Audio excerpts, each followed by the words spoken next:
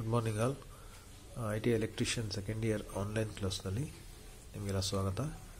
ಇವತ್ತು ನಾವು three phase squirrel cage induction motor part ಟೂನಲ್ಲಿ ಬಂದು stator and rotor of the induction motor ಬಗ್ಗೆ study ಮಾಡೋಣ. ಸೊ ಅದರಲ್ಲಿ ಫಸ್ಟು ಸ್ಟೇಟರ್ ಆ್ಯಂಡ್ ರೋಟರ್ಸ್ ನೋಡಿ. ಸೊ ನೀವು ನೋಡಿರ್ಬೋದು ಸ್ಟೇಟರ್ ಆ್ಯಂಡ್ ಅಥವಾ rotor so stationary it is the stationary part of the three phase induction motor rotor ಅಂದರೆ it is the rotational part of the three phase induction motor so ಈ rotor ಏನಿದೆ, ಈ ಸ್ಟೇಟರ್ನಲ್ಲಿ ಏನು gap ಇದೆಯಲ್ಲ so ಇಲ್ಲಿ fix ಆಗುತ್ತೆ rotate ಆಗುತ್ತೆ. So ಇದಕ್ಕೆ ನಾವು ಸ್ಟೇಟರ್ಗೆ ಸಪ್ಲೈ ಕೊಡ್ತೀವಿ ರೋಟರ್ಗೆ ಯಾವುದೇ ಸಪ್ಲೈ ಕೊಡೋದಿಲ್ಲ ತ್ರೀ ಫೇಸ್ ಇಂಡಕ್ಷನ್ ಮೋಟ್ರಲ್ಲಿ ಸ್ಕೂಲ್ ಗೇಜ್ ಇಂಡಕ್ಷನ್ ಮೋಟರ್ನಲ್ಲಿ ಸೊ ಓನ್ಲಿ ಸ್ಟೇಟರ್ಗೆ ಸಪ್ಲೈ ಕೊಟ್ಟಾಗ ನಾವು ರೋಟರ್ನಲ್ಲಿ ಅದೇ ಸಪ್ಲೈನಲ್ಲಿ ಏನು ಫ್ಲೆಕ್ಸ್ ಪ್ರೊಡ್ಯೂಸ್ ಆಗುತ್ತೆ, ಆ ಫ್ಲೆಕ್ಸ್ ರೋಟ್ರಲ್ಲಿ ಇಂಡ್ಯೂಸ್ ಆಗಿ due to interaction of fluxes ಇಂದ ಏನಾಗುತ್ತೆ? ರೊಟೇಷನ್ ಇದರಲ್ಲಿ ಸ್ಟಾರ್ಟ್ ಆಗುತ್ತೆ. ಸೊ ಅದನ್ನು ಡೀಟೇಲಲ್ಲಿ ನೋಡೋಣ. Next stator of the induction motor so ನಿಮಗೆಲ್ಲ ಗೊತ್ತಿರೋ ಹಾಗೆ ಕನ್ಸ್ಟ್ರಕ್ಷನ್ ಆಫ್ ಸ್ಟೇಟರ್ ಸ್ಟೇಟರ್ ಏನಿದೆ ಸೊ ನನ್ನ ಹಿಂದಿನ ವಿಡಿಯೋ ಕ್ಲಾಸ್ಗಳಲ್ಲಿ ನಾನು ಹೇಳಿದ್ದೀನಿ ಡಿ ಸಿ ಮೋಟ್ರ್ ಕನ್ಸ್ಟ್ರಕ್ಷನಲ್ಲಿ ಸ್ಟೇಟಸ್ ಯಾವಾಗಲೂ ಏನಿದೆ ಲ್ಯಾಮಿನೇಟೆಡ್ ಸಿಲಿಕಾನ್ ಸ್ಟೀಲಲ್ಲಿ ಮಾಡಿರ್ತಾರೆ. ಸೊ ಇದು ಅಷ್ಟೇ ನೋಡಿ the main body of the stator consists of number of lamination of cold steel silicon steel ಅಂದರೆ ಸೊ ಇದು ಫುಲ್ಲಿ ಸಿಂಗಲ್ ಪೀಸಲ್ಲ ಇದು. ಲ್ಯಾಮಿನೇಟೆಡ್ ಸ್ಟೀಲ್ ಕೋರ್ಸ್ ಇದು. ಸಿಲಿಕಾನ್ ಲ್ಯಾಮಿನೇಟೆಡ್ ಸ್ಟೀಲ್ ಕೋರ್ಸಿಂದ ಸೊ ಈ ಒಂದು ಸ್ಟೇಟನ್ನು ತಯಾರಿಸಿದ್ದಾರೆ. ಸೊ ಇಂಡಿವಿಜುವಲ್ ಸ್ಟೇ ಶೀಟ್ಸ್ಗಳು ಲ್ಯಾಮಿನೇಟೆಡ್ ಶೀಟ್ಗಳನ್ನ ಎಂಬೆಡ್ ಮಾಡಿ ಸೊ ಇದೊಂದು ಸ್ಟೇಟನ್ನು ತಯಾರಿಸಿರ್ತಾರೆ. ಸೊ ಅದು ಯಾಕಂದರೆ ಸೊ ಎಡಿ ಕರೆಂಟ್ನ ರಿಡ್ಯೂಸ್ ಮಾಡೋದಕ್ಕೆ ಈ ಥರ ಲ್ಯಾಮಿನೇಟೆಡ್ ಶೀಟ್ಸ್ನ ಯೂಸ್ ಮಾಡ್ತೀವಿ. ಯಾಕಂದರೆ ಸಾಲಿಡ್ ಪೀಸ್ ಯೂಸ್ ಮಾಡಿದ್ರೆ ಎಡಿ ಕರೆಂಟ್ ಜಾಸ್ತಿಯಾಗಿ ಏನಾಗುತ್ತೆ? ನಮಗೆ ಎನರ್ಜಿ ಲಾಸ್ ಆಗುತ್ತೆ. ಸೊ ಅದನ್ನು ಅವಾಯ್ಡ್ ಮಾಡೋದಕ್ಕೆ ನಾವು ಲ್ಯಾಮಿನೇಟೆಡ್ ಆಫ್ ಸಿಲಿಕಾನ್ ಸ್ಟೀಲ್ಸ್ನ ಇದರಲ್ಲಿ ಯೂಸ್ ಮಾಡ್ತೀವಿ ಸ್ಲಾಟಿಗೆ ಸೊ ಇದೆಲ್ಲ ನೋಡಿ, ಇಲ್ಲಿ ಎಲ್ಲ ಏನು ಕಾಣ್ತಾ ಇದೆ? This are the slots for three phase winding so ಈ ಸ್ಲಾಟ್ಸಲ್ಲಿ ಏನಾಗುತ್ತೆ? ವೈಂಡಿಂಗು ಫಿಕ್ಸ್ ಆಗುತ್ತೆ. ಸೊ ಆಮೇಲೆ ಇದರಲ್ಲಿ ನಂಬರ್ ಆಫ್ ಸ್ಲಾಟ್ಸ್ ಎಷ್ಟು ಪ್ರೊವೈಡ್ ಮಾಡ್ತೀವಿ ಅಂದರೆ ಸೊ ನಮಗೆ ಎಷ್ಟು ನಂಬರ್ ಆಫ್ ಪೋಲ್ಸ್ ಬೇಕು. ಜೊತೆಲಿ ತ್ರೀ ಫೇಸ್ ಮೋಟ್ರ್ ಆದರೆ ನಂಬರ್ ಆಫ್ ಸ್ಲಾಟ್ಸ್ ಚೇಂಜ್ ಇರುತ್ತೆ. ಸಿಂಗಲ್ ಫೇಸ್ ಮೋಟ್ರಿಗೆ ನಂಬರ್ ಆಫ್ ಸ್ಲಾಟ್ಸ್ ಚೇಂಜ್ ಇರುತ್ತೆ. So slots depend on number of phases and number of poles ಇದ್ರ ಮೇಲೆ ಡಿಪೆಂಡ್ ಆಗಿರುತ್ತೆ. ಸೊ ನೆಕ್ಸ್ಟ್ ಬಂದು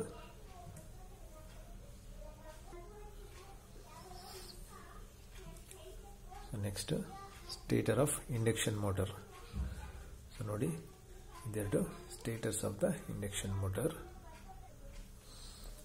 so stators images ಇದೆರಡು ನೋಡಿ. ಸೊ ಇದರಲ್ಲಿ ಏನಿರುತ್ತೆ ಅಂದರೆ ಸ್ಟೇಟಲ್ಲಿ ಸ್ಟೇಟರ್ ಸ್ಲಾಟ್ಸಲ್ಲಿ ನೀವು ಲಾಸ್ಟ್ ಇಮೇ ಇಮೇಜಲ್ಲಿ ನೋಡಿದ್ರಿ ಲಾಸ್ಟ್ ಸ್ಲೈಡಲ್ಲಿ ಸ್ಟೇಟರ್ ಸ್ಲಾಟ್ಸ್ ಇರುತ್ತೆ. ಆ ಸ್ಲಾಟಲ್ಲಿ ಏನಾಗುತ್ತೆ? ಸ್ಟೇಟರ್ ವೈಂಡಿಂಗ್ ಫಿಕ್ಸ್ ಆಗುತ್ತೆ ತ್ರೀ ಫೇಸ್ ವೈಂಡಿಂಗ್ ನೋಡಿ, ಈ ಪ್ಲೇಸ್ ಬ್ಯಾಲೆನ್ಸ್ಡ್ ತ್ರೀ ಫೇಸ್ ವೈಂಡಿಂಗಿಂದ ಸ್ಟೇಟರ್ ಸ್ಲಾಟ್ ಸ್ಟೇಟರ್ ಸ್ಲಾಟ್ಗಳಲ್ಲಿ ಬ್ಯಾಲೆನ್ಸ್ಡ್ ಆಗಿ ತ್ರೀ ಫೇಸ್ ವೈಂಡಿಂಗ್ ಇನ್ಸರ್ಟ್ ಮಾಡಿರ್ತೀವಿ. ಆಮೇಲೆ ಅದಕ್ಕೆ ನಾವು ಸಪ್ಲೈ ಕೊಡ್ತೀವಿ. When we supply three phase power to the three phase winding so ಈ ವೈಂಡಿಂಗ್ ಆದಮೇಲೆ ಅದಕ್ಕೆ ನಾವು ತ್ರೀ ಫೇಸ್ ಸಪ್ಲೈ ಕೊಟ್ಟಾಗ ಏನಾಗುತ್ತೆ? ಅದರಲ್ಲಿ ಮ್ಯಾಗ್ನೆಟಿಕ್ ಫೀಲ್ಡ್ ಪ್ರೊಡ್ಯೂಸ್ ಆಗುತ್ತೆ. ಸೊ ಆ ಥರ ಪ್ರೊಡ್ಯೂಸ್ ಆಗೋ ಮ್ಯಾಗ್ನೆಟಿಕ್ ಫೀಲ್ಡ್ ಏನಾಗಿರುತ್ತೆ? ಅದು ರೊಟೇಟಿಂಗ್ ಮ್ಯಾಗ್ನೆಟಿಕ್ ಫೀಲ್ಡ್ ಆಗಿರುತ್ತೆ. ಅಂದರೆ ಸ್ಟೇಷನರಿ ಮ್ಯಾಗ್ನೆಟಿಕ್ ಫೀಲ್ಡ್ ಅಲ್ಲ ರೊಟೇಟಿಂಗ್ ಮ್ಯಾಗ್ನೆಟಿಕ್ ಫೀಲ್ಡ್ ಯಾಕಂದರೆ ನಾವು ಇಲ್ಲಿ ತ್ರೀ ಫೇಸ್ ಎ ಸಿ ಕೊಡ್ತಾ ಇದ್ದೀವಿ. ಸೊ ಹಾಗಾಗಿ ಇಲ್ಲಿ ಪ್ರೊಡ್ಯೂಸ್ ಆಗೋ magnetic field nature rotating nature ಇರುತ್ತೆ. ಸೊ ಅದಲ್ಲದೆ the angular speed of rotational rotation of rotating magnetic field ಏನಿದೆ? That is depend on the number of poles so ಇಲ್ಲಿ produce ಆಗುವಂತಹ ಮ್ಯಾಗ್ನೆಟಿಕ್ ಫೀಲ್ಡ್ ಏನಿದೆ? ಸೊ ಅದರದ್ದು ರೊಟೇಷನರಿ ಏನಿದೆ that is depend upon number of poles ಅದು, ಆ ರೊಟೇಷನ್ ಬಂದು ನಂಬರ್ ಆಫ್ ಪೋಲ್ಸ್ ಮೇಲೆ ಡಿಪೆಂಡ್ ಆಗಿರುತ್ತೆ, ಜೊತೆಯಲ್ಲಿ ಸಪ್ಲೈ ಫ್ರೀಕ್ವೆನ್ಸಿ ಮೇಲೆ ಡಿಪೆಂಡ್ ಆಗಿರುತ್ತೆ. ಸೊ ತ್ರೀ ಫೇಸ್ ಮಿಷಿನ್ಗಳಲ್ಲಿ ಅಥವಾ ತ್ರೀ ಫೇಸ್ ಇಂಡಕ್ಷನ್ ಮೋಟರ್ಗಳಲ್ಲಿ ಏನು ಸ್ಟೇಟ್ರಿಗೆ ನೀವು ತ್ರೀ ಫೇಸ್ ಕೊಟ್ಟ ತಕ್ಷಣ ಏನಾಗುತ್ತೆ ಬ್ಯಾಲೆನ್ಸ್ಡ್ ತ್ರೀ ಫೇಸ್ ಇರೋದ್ರಿಂದ ಇದರಲ್ಲಿ ರೊಟೇಟಿಂಗ್ ಮ್ಯಾಗ್ನೆಟಿಕ್ ಫೀಲ್ಡ್ ಪ್ರೊಡ್ಯೂಸ್ ಆಗುತ್ತೆ. ಸೊ ಅದು ನಂಬರ್ ಆಫ್ ಪೋಲ್ಸ್ ಮೇಲೆ ಜೊತೆಲಿ ಸಪ್ಲೈ ಫ್ರೀಕ್ವೆನ್ಸಿ ಮೇಲೆ ಡಿಪೆಂಡ್ ಆಗಿರುತ್ತೆ. ನೆಕ್ಸ್ಟ್ ನೋಡಿ. ಸೊ ನಾವು ಸಪ್ಲೈ ಕೊಟ್ಟಾಗ ಏನಾಗುತ್ತೆ? ಇದರಲ್ಲಿ ರೊಟೇಟಿಂಗ್ ಮ್ಯಾಗ್ನೆಟಿಕ್ ಫೀಲ್ಡ್ ಪ್ರೊಡ್ಯೂಸ್ ಆಗುತ್ತೆ. So rotating magnetic field speed ಅಂದರೆ ಏನು ಮ್ಯಾಗ್ನೆಟಿಕ್ ಫೀಲ್ಡ್ ರೊಟೇಟ್ ಆಗ್ತಾ ಇರುತ್ತೆ ಪ್ರೊಡ್ಯೂಸ್ ಆಗಿ ಸ್ಟೇಟ್ರಲ್ಲಿ ಸೊ ಅದರದ್ದು ಸ್ಪೀಡಿಗೆ ನಾವು ಸಿಂಕ್ರೋಸ್ ಸ್ಪೀಡ್ ಅಂತ ಹೇಳ್ತೀವಿ. ನೋಡಿ. The physical speed of rotational rotating magnetic field is called synchronous speed so magnetic field ಏನು ರೊಟೇಟ್ ಆಗ್ತಾ ಇದೆ, ಆ ಸ್ಪೀಡ್ಗೆ ನಾವು ಸಿಂಕ್ರನಸ್ ಸ್ಪೀಡ್ ಅಂತ ಹೇಳ್ತೀವಿ. ಸೊ ಆ ಸಿಂಕ್ನ ಸ್ಪೀಡ್ನ ನಾವು ಕ್ಯಾಲ್ಕುಲೇಟ್ ಮಾಡೋದಕ್ಕೆ ಒಂದು ಫಾರ್ಮುಲಾ ಇದೆ ನೋಡಿ. So N sync so N ಸಿಂಕ್ನ speed N ಅಂದರೆ ಏನು? Speed N is the symbol for speed so N sync ಅಂದರೆ ಸಿಂಕ್ನ speed is equal to one twenty F by P one twenty F by P ಅದರಲ್ಲಿ N is the ಸಿಂಕ್ನ speed in R P M F is the frequency in hertz P is the number of poles so for example ಈಗ one twenty is the constant ಏನು constant ಇದು one twenty ಅಂದರೆ it is the angle between the phases three ಫೇಸಲ್ಲಿ ಏನು angle between the R Y B ಫೇಸಸ್ಸಲ್ಲಿ angle difference ಎಷ್ಟಿರುತ್ತೆ? One twenty degree angle ಇರುತ್ತೆ electrical degrees so this is the constant one twenty degree angle into ನೋಡಿ ಫಾರ್ಮಾದಲ್ಲಿ F ಇದೆ. F ಅಂದರೆ ಏನು? Fifty hertz frequency so poles for example ನಾವು six poles ತೊಗೊಳೋಣ ಏನಾಗುತ್ತೆ? One twenty into fifty six thousand ಆಗುತ್ತೆ. ಡಿವೈಡ್ ಬೈ ಸಿಕ್ಸ್ ಅಂದರೆ ಥೌಸಂಡ್ ಆರ್ ಪಿ ಎಂ ಇದು synchronous speed of the rotating magnetic field rotating magnetic field single speed ಈ ಥರ ನಾವು calculate ಮಾಡ್ತೀವಿ. ಸೊ ನಂಬರ್ ಆಫ್ ಪೋಲ್ಸ್ ನಮಗೆ ಕಡಿಮೆ ಆದಷ್ಟು ಸ್ಪೀಡ್ ನಮಗೆ ಜಾಸ್ತಿ ಆಗ್ತಾ ಇರುತ್ತೆ. ನಂಬರ್ ಆಫ್ ಪೋಲ್ಸ್ ಜಾಸ್ತಿ ಆದರೆ ಸ್ಪೀಡ್ ಕಡಿಮೆ ಆಗುತ್ತೆ. ನೆಕ್ಸ್ಟ್ ರೋಟರ್ಸ್ ಸ್ಟೇಟರ್ ಆಯಿತು. ರೋಟರ್ ನೋಡೋಣ ಈಗ. ಸೊ ರೋಟರಲ್ಲಿ ಆ್ಯಕ್ಚುಲಿ ಎರಡು ಟೈಪ್ ಇದೆ. ಸೊ ಒಂದು ಬಂದು ಸ್ಕ್ವಿರಲ್ ಕೇಜ್ ರೋಟರ್ ಒಂದು. ಸೊ ಇನ್ನೊಂದು ವೈರನ್ ರೋಟರ್ ಸೊ ನಿಮಗೆ ಡಿಫ್ರೆನ್ಸ್ ಇಲ್ಲೇ ಗೊತ್ತಾಗುತ್ತೆ ನೋಡಿ. ಸೊ ವೈರನ್ ರೋಟ್ರಲ್ಲಿ ಏನಾಗುತ್ತೆ ರೋಟರ್ ಸ್ಲಾಟ್ಸಲ್ಲಿ ವೈರ್ ತ್ರೀ ಫೇಸ್ ವೈಂಡಿಂಗ್ ಇರುತ್ತೆ. ತ್ರೀ ಫೇಸ್ ಕಾಪರ್ ವೈಂಡಿಂಗ್ ಇರುತ್ತೆ. ಯಾವುದರಲ್ಲಿ? ವೈರನ್ ರೋಟ್ರಲ್ಲಿ ರೋಟರ್ ಸ್ಲಾಟ್ಸಲ್ಲಿ ವೈರನ್ ರೋಟ್ರಲ್ಲಿ ಏನಾಗಿರುತ್ತೆ? ರೋಟರ್ ಸ್ಲಾಟಲ್ಲಿ ತ್ರೀ ಫೇಸ್ ವೈಂಡಿಂಗ್ ಇರುತ್ತೆ. ಬಟ್ ಸ್ಕ್ವಿರಲ್ ಕೇಜ್ ರೋಟ್ರಲ್ಲಿ ಏನಾಗುತ್ತೆ ಸ್ಲಾಟ್ಸಲ್ಲಿ ವೈಂಡಿಂಗ್ ಜಾಗದಲ್ಲಿ ಕಾಪರ್ ಅಥವಾ ಅಲ್ಯೂಮಿನಿಯಂ ಬಾರ್ಸ್ನ ಇನ್ಸರ್ಟ್ ಮಾಡಿರ್ತೀವಿ ನೋಡಿ, ಇದೆಲ್ಲ. ಕಾಪರ್ ಅಥವಾ ಅಲ್ಯೂಮಿನಿಯಂ ಬಾರ್ಸ್ ಇನ್ಸರ್ಟ್ ಮಾಡಿದ್ದೀವಿ ಸೊ ಇದು ಸ್ಟ್ರೈಟ್ ಆಗಿಲ್ಲ ಕ್ರಾಸ್ ಆಗಿ ಇನ್ಸರ್ಟ್ ಮಾಡ್ತೀವಿ ಅಂದರೆ ಸ್ಕ್ಯೂ ಅಂತ ಹೇಳ್ತೀವಿ ಇದಕ್ಕೆ. ಸ್ಕ್ಯೂ ಮೀನ್ಸ್ ಏನು? ಕ್ರಾಸ್ ಆಗಿ ಇನ್ಸರ್ಟ್ ಮಾಡಿದ್ದೀವಿ ಅಂದರೆ ಇನ್ಕ್ಲೈನ್ಡ್ ಆಗಿ ಮಾಡಿದ್ದೀವಿ ಯಾಕಂದರೆ ಈ ಶಾಫ್ಟಿಗೆ ಪ್ಯಾರಲಲ್ ಆಗಿ ಈ ಕಾಪರ್ ಬಾರ್ಸ್ನ ಅಥವಾ ವೈಂಡಿಂಗ್ನ ನಾವು ಇದರಲ್ಲಿ ಇನ್ಸರ್ಟ್ ಮಾಡೋದಿಲ್ಲ. ಸ್ವಲ್ಪ ಆ್ಯಂಗಲ್ ಅಥವಾ ಇನ್ಕ್ಲೈನ್ಡ್ ಆ್ಯಂಗಲ್ ಇರುತ್ತೆ. ಅದಕ್ಕೆ ನಾವು ಸ್ಕ್ಯೂಯಿಂಗ್ ಅಂತ ಹೇಳ್ತೀವಿ. ಸ್ಕ್ಯೂಯಿಂಗ್ ಆಫ್ ಕಂಡಕ್ಟರ್ಸ್ ಸೊ ಇದರಿಂದ ಏನಾಗುತ್ತೆ? ಹಮ್ಮಿಂಗ್ ಎಫೆಕ್ಟ್ ಅಥವಾ ಮ್ಯಾಗ್ನೆಟಿಕ್ ಲಾಕಿಂಗ್ ಎಫೆಕ್ಟ್ ಅವಾಯ್ಡ್ ಆಗುತ್ತೆ. ಸೊ ಇದ್ರ ಬಗ್ಗೆ ನೆಕ್ಸ್ಟ್ ನೋಡೋಣ. ನೋಡಿ construction of squirrel G rotor so first squirrel cage rotor ನೋಡೋಣ. ಸೊ ನೋಡಿ most of the induction motor ನೀವು ಎಷ್ಟು maximum induction motor induction motor ನೋಡಿ. ಸೊ ಅದರಲ್ಲಿ ಮ್ಯಾಕ್ಸಿಮಮ್ ಇಂಡಕ್ಷನ್ ಮೋಟರ್ನಲ್ಲಿ ರೋಟರ್ಗಳೇನಿದೆ ಅದು ಸ್ಕ್ವಿರಲ್ ಕೇಜ್ ಟೈಪ್ ಇರುತ್ತೆ. ಯಾಕಂದರೆ, ಇವೆಲ್ಲ ಕನ್ಸ್ಟ್ರಕ್ಷನ್ನಲ್ಲಿ ಡ್ಯೂರೇಬಲ್ ಆ್ಯಂಡ್ ರೋಬಸ್ಟ್ ಕನ್ಸ್ಟ್ರಕ್ಷನ್ ಇದ್ರದ್ದು ಕನ್ಸ್ಟ್ರಕ್ಷನ್ ಇದೆ simple and robust construction usually ಇದು ಡ್ಯೂರೇಬಲ್ ಇರುತ್ತೆ. ಕಂಪೇರ್ ಟು ಉನ್ ಟೈಪ್ ರೋಟರ್ಗೆ ಕಂಪೇರ್ ಮಾಡಿದ್ರೆ ಸ್ಕ್ವೇಲ್ ಕೇಜ್ ರೋಟರ್ ಏನಿದೆ ಡ್ಯೂರೇಬಲ್ ಜೊತೆಲಿ robust in construction so cost ಕೂಡ ಕಡಿಮೆ ಇರುತ್ತೆ ಇದರದು so ninety percent of the induction motor ಏನಿದೆ, ಅದು ಸ್ಕ್ವೇಲ್ ಕೇಜ್ ಟೈಪೇ ಇರುತ್ತೆ. ಸೊ ಆಮೇಲೆ ಇದರಲ್ಲಿ ಏನು squirrel cage type induction rotor ಇದೆ ಸೊ ಇದರಲ್ಲೂ ಕೂಡ ಲ್ಯಾಮಿನೇಟೆಡ್ ಕೋರ್ಸ್ ಇರುತ್ತೆ. ಆಲ್ರೆಡಿ ನಾನು ಹೇಳಿದಾಗೆ ಇದ್ರ ಒಳಗಡೆ ಏನಿರುತ್ತೆ ಲ್ಯಾಮಿನೇಟೆಡ್ ಕೋರ್ಸ್ ಇರುತ್ತೆ. ಆ ಲ್ಯಾಮಿನೇಟೆಡ್ ಕೋರಲ್ಲಿ ಏನು ಸ್ಲಾಟ್ ಇದೆ, ಆ ಸ್ಲಾಟಲ್ಲಿ ಕಾಪರ್ ಅಥವಾ ಅಲ್ಯೂಮಿನಿಯಂ ಬಾರ್ಸ್ನ ಇನ್ಸರ್ಟ್ ಮಾಡ್ತೀವಿ. ನೋಡಿ. ಸೊ ಇದು ಜಸ್ಟ್ ಬಾರ್ಸ್ ಇನ್ಸರ್ಟ್ ಆಗಿದೆ. ಇದ್ರ ಒಳಗಡೆ ಏನಿರುತ್ತೆ, ಕೋರ್ ಇರುತ್ತೆ ಬಟ್ ಅದು ಕೋರ್ ಇಲ್ಲಿ ತೋರಿಸಿಲ್ಲ. ಸೊ ಜಸ್ಟ್ ಕಂಡಕ್ಟರ್ ಬಾರ್ಸ್ ಇದೆ. ಆ ಕಂಡಕ್ಟರ್ ಬಾರ್ಸ್ಗೆ ಎಂಡಲ್ಲಿ ಏನು ಮಾಡ್ತೀವಿ? ಎರಡು ಎಂಡಲ್ಲಿ ನಾವು ಒಂದೊಂದು ರಿಂಗ್ನ ಇನ್ಸರ್ಟ್ ಮಾಡ್ತೀವಿ. ಯಾಕೆ ಅದು? ಸೊ ಎಂಡ್ಸ್ ಆಫ್ ದ ಕಂಡಕ್ಟರ್ನ ಶಾರ್ಟ್ ಮಾಡೋದಕ್ಕೆ. ಸೊ ಈಗ ಇದು ಯಾವ ಥರ ಕಾಣ್ತಾ ಇದೆ? ನೋಡಿ, ಯಾವ ಥರ ಕಾಣ್ತಾ ಇದೆ? ಕೇಜ್ ಥರ ಕಾಣ್ತಾ ಇದೆ. ಎಂಥ ಕೇಜ್ ಸ್ಕ್ವಿರಲ್ ಕೇಜ್ ಥರ ಕಾಣ್ತಾ ಇದೆ. ಸೊ ಅದಕ್ಕೋಸ್ಕರನೇ ಈ ಒಂದು ರೋಟ್ರಿಗೆ ನಾವು ಸ್ಕ್ವಿರಲ್ ಕೇಜ್ ರೋಟರ್ ಅಥವಾ ಸ್ಕ್ವಿರಲ್ ಕೇಜ್ ಇಂಡಕ್ಷನ್, ಈ ಒಂದು ಮೋಟ್ರಿಗೆ ನಾವು ಸ್ಕ್ವಿಲ್ ಕೇಜ್ ಇಂಡಕ್ಷನ್ ಮೋಟ್ರ್ ಅಂತಲೂ ಹೇಳ್ತೀವಿ. ಯಾಕೆ ಹೇಳ್ತೀವಿ ಅಂದರೆ ಅದು due to this rotor.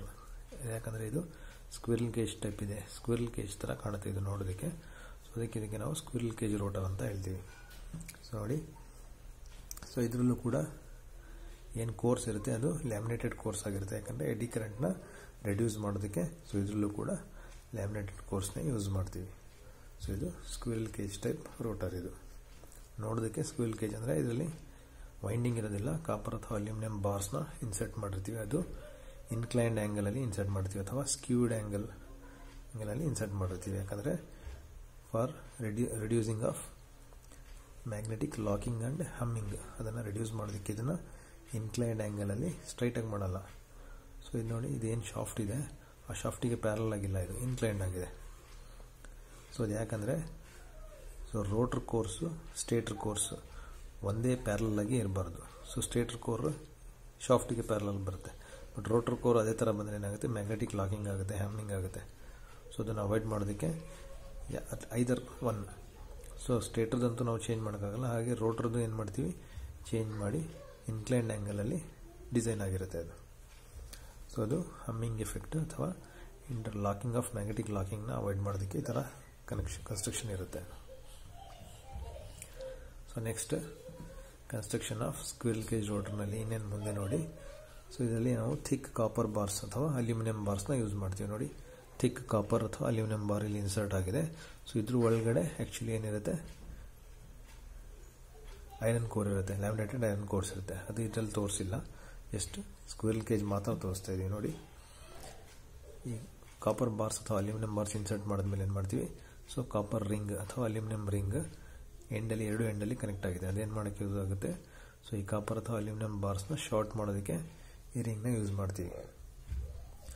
So ಈ ಒಂದು ರೀಸನಿಂದಲೇ ಇದಕ್ಕೆ ನಾವು ಸ್ಕ್ವಿರಲ್ ಕೇಜ್ ಅಂತಲೇ ಹೇಳೋದು. ಸ್ಕ್ವಿರಲ್ ಕೇಜ್ ರೋಟ್ರ್ ಅಂತಲೇ ಹೇಳ್ತೀವಿ. ಯಾಕಂದರೆ ಸೊ ಇದು ಸ್ಕ್ವಿರಲ್ ಕೇಜ್ ಥರ ಕಾಣ್ತಾ ಇದೆ. ಸೊ ಅದಕ್ಕೋಸ್ಕರ ಇದನ್ನು ಆ ಥರ ಹೇಳೋದು.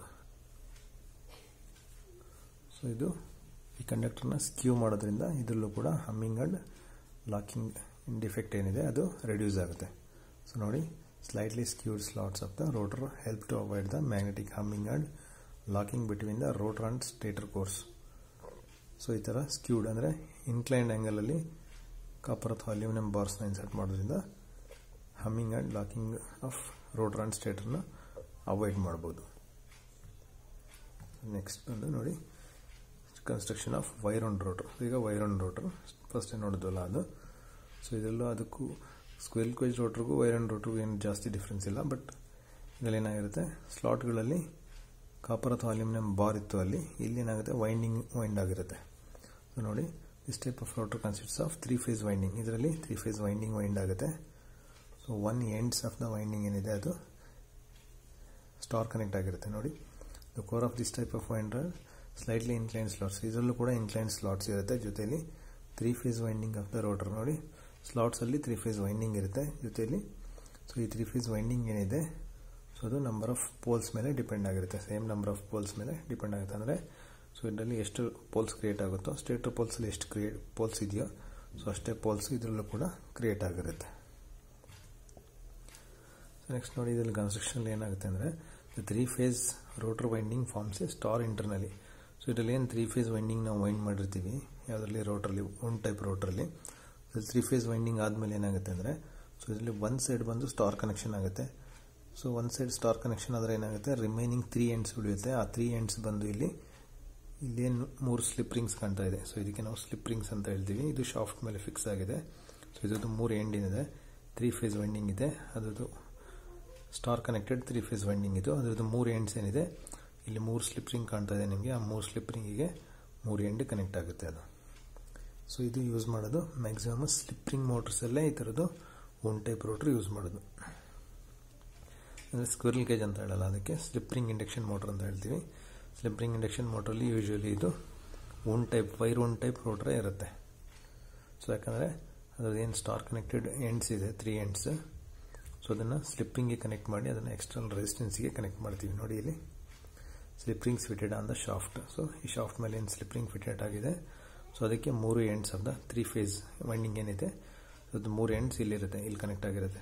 Remaining three ends star connect ಆಗಿರುತ್ತೆ. ಸೊ ಈ ಸ್ಲಿಪ್ಟಿಂಗಿಂದ ಏನಾಗುತ್ತೆ ನೋಡಿ, ಇಲ್ಲಿ ಬ್ರಷ್ ಕನೆಕ್ಟ್ ಆಗಿದೆ. ಈ ಬ್ರಷಿಂದ ಎಕ್ಸ್ಟರ್ನಲ್ ಸರ್ಕ್ಯೂಟಿಗೆ ಕನೆಕ್ಷನ್ ಇರುತ್ತೆ. ಸೊ ನೋಡಿ ಎಕ್ಸ್ಟರ್ನಲ್ ಕನೆಕ್ಷನ್ ಅಂದರೆ ಏನು? ಸೊ ಇದು ಇದು ಕೂಡ ವೈರನ್ ರೋಟರು ಸೊ ಇದು ಸ್ಟಾರ್ ಕನೆಕ್ಟೆಡ್ ಆಗಿರುತ್ತೆ. ಸೊ ರಿಮೈನಿಂಗ್ ತ್ರೀ ಎಂಡ್ಸ್ ಇಲ್ಲಿ ಮೂರು ಸ್ಲಿಪ್ ರಿಂಗಿಗೆ ಕನೆಕ್ಟ್ ಆಗಿದೆ.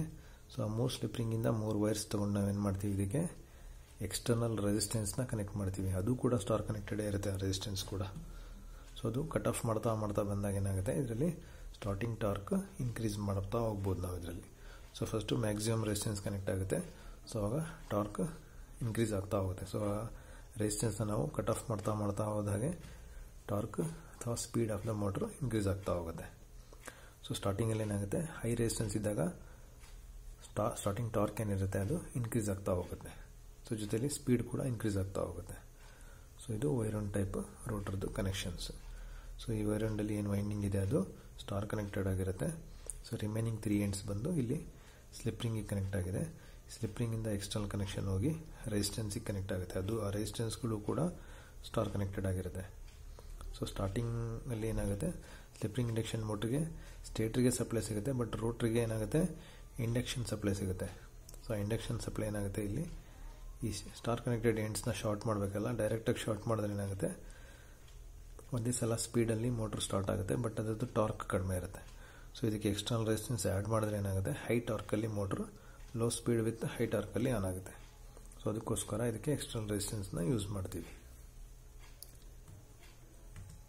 ಸೊ ಇವತ್ತಿಗೆ ಇಷ್ಟೇ. ಥ್ಯಾಂಕ್ ಯು ಅಲ್ಲ